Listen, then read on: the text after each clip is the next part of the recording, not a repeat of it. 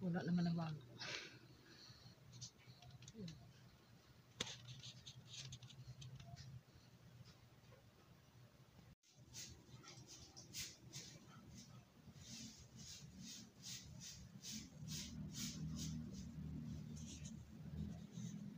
Mag magugupit kami diyan kami makiki makiki-shop kami.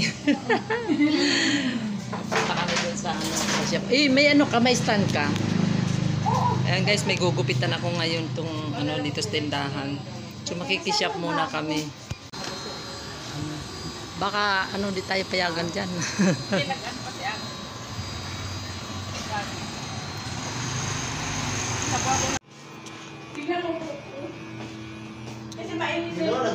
Oh. Pwede ba? Oo. Pwede mo yan. Yung may vlog ko nga ito oh. Vlog pa. o, Ayan o. Ayan o. Andito kami ngayon sa ano, anong ano nga to pangalan ng ano niyo? Shop niyo? Ayun, GM, ayan. NAG. Burger shop. M&G. MNG. Ayan. Nandito kami, nakikishop kami.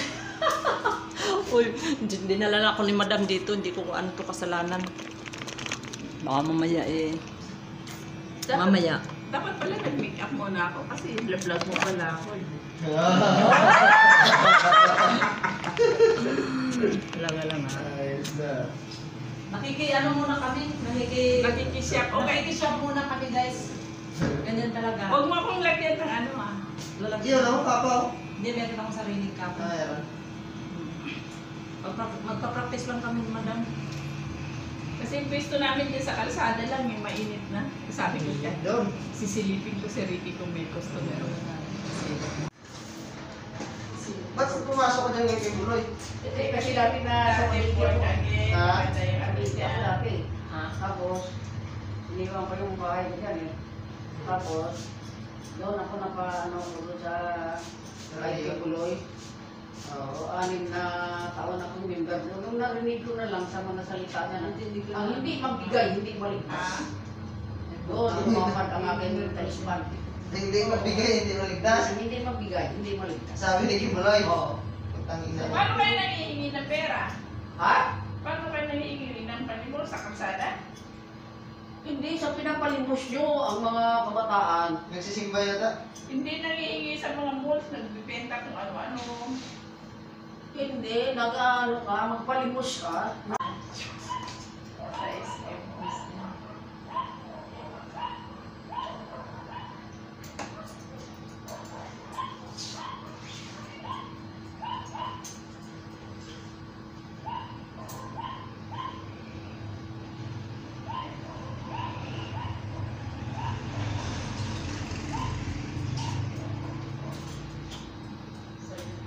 Sa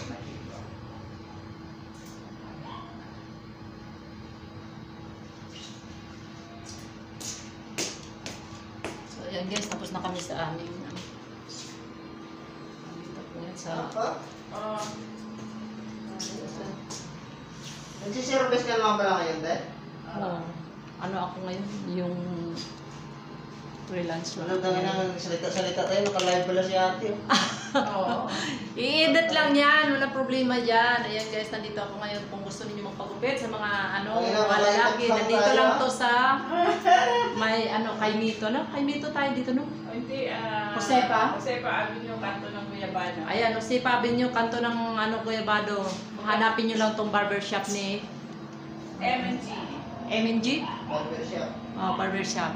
Ayun guys, maraming salamat sa inyong panonood. Nawa makita namin kayo dito.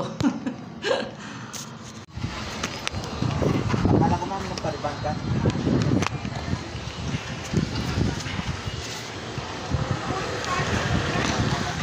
ha?